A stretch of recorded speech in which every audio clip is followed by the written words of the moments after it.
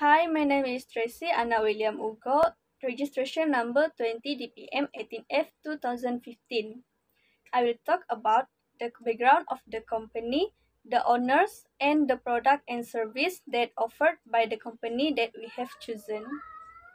The company that we have selected is Naim Holdings Berhad, was established in 1993 and since that year until now Naim Holdings has involved in many construction, property development and also has established a Naim Trust Fund.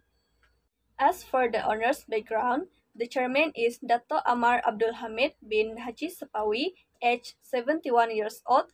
He is still active in timber and plantation industries and also active as an investor, a manager, and a director in companies carrying out civil works, construction, housing, and property development. The business that Naim Holdings conducted is integrated property development and investment that plays in Kuching, Bintulu, and Miri. Naim Holding also involved in construction, oil and gas and infrastructure project. Then Naim established trading division in 1995 and has its office in Kuching and Miri. Lastly, Naim Foundation was established in 2004 and providing assistance in education, sports, art and culture, and charitable purpose. Assalamualaikum warahmatullahi wabarakatuh. My name is Nur Shazalana binti Zulkarnain, NOCA Matrix 20 DBM 18F2021. Today, I would like to present about product design of Naim Holding Berhad. Naim Land Sdn Berhad originally sells land for housing purpose, apartment, malls, and building. Naim Land Sdn Berhad is one of subsidiaries of Naim Holdings Berhad. It consists two layout photos, which is at the ground floor and at first floor.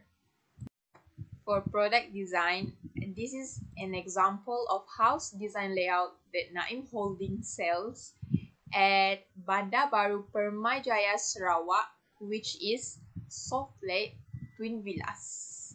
Next is plan location of Naim Holdings Berhad. There's three, which is at Kuching, at Bintulu, and also at Miri. Hai, Assalamualaikum warahmatullahi wabarakatuh. My name is Nur Shahida binti Sarkawi, cat Matric 20 DPM 18F 2007. Today, I want to present about layout of Naim Holding Berhad, which is have uh, five types of layout for Naim Holding Berhad, which is type A, type B, type C, type D, and type E. For type E, divide by 2, which is duplex, upper floor, du duplex, lower floor. A, in the intent of position, can be seen very crowded because of the small place compared to type B to E. For type B, slightly large space than type A, but the layout is the same as a type A. Moreover, the ding-in table is placed on near the main door should be more towards the kitchen area. Type C is very comfortable position. The layout of the previous two types can be more different and has a large space. For two more type of layout is type D and type E. For type D, which is have three bedroom and two bedroom. And type E, which is have three bedroom and three bedroom. These types, the layout is very attractive and uses a current amount of space. Naim Holding Berhad that the layout of the condominium is very much arranged according to the planet's flow.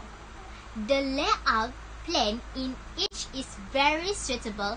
There are only some that are not very strategic. Layout is made to ensure the safety of the occupants in the condominium developed by Naim Holding Berhad. My name is Claudia Dayang David. My registration number is 20 DPM 18F 2003. I will present about quality program and corporate social responsibility. Now, Naim Holding Berhad have three quality program. First is job opportunities, two is scope, and three is strategy. For job opportunities, at Naim, they proud to celebrate difference and foster environment where every team member has the opportunity to reach their full potential. For scope, Naim also have a SWOT. SWOT is main strategy, weakness, opportunities, T for three.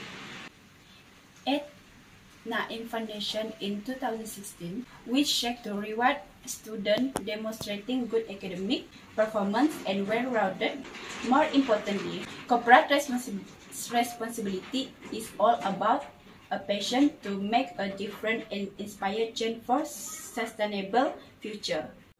As for suggestion and recommendation, we suggest that Naim Holdings to develop more affordable apartments as society economics today was affected by by COVID-19 pandemic, especially the low and middle class society. Next, we recommend Naim Holdings to spread their business to Sabah and make collaboration in terms of property development, construction, and oil and gas.